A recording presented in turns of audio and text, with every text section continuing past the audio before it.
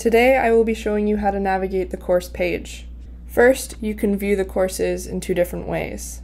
There's the list view, indicated by these three bars, and then there's the grid view, indicated by the grid image. You can choose what you prefer. Either way, you can scroll down to view the courses. If you have many courses and you need to find one quickly, you can search the course in the search bar. Finally, you can filter your courses.